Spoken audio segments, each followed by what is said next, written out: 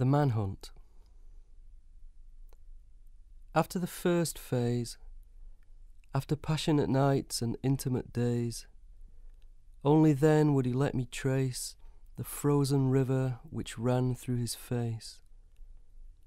Only then would he let me explore the blown hinge of his lower jaw and handle and hold the damaged porcelain collarbone and mind and attend the fractured rudder of shoulder blade, and finger and thumb the parachute silk of his punctured lung.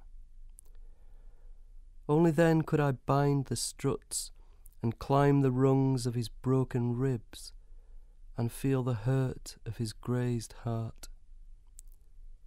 Skirting along, only then could I picture the scan the fetus of metal beneath his chest, where the bullet had finally come to rest.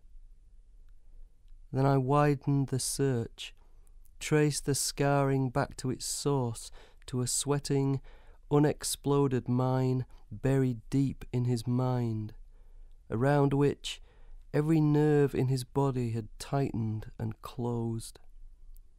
Then, and only then, did I come close.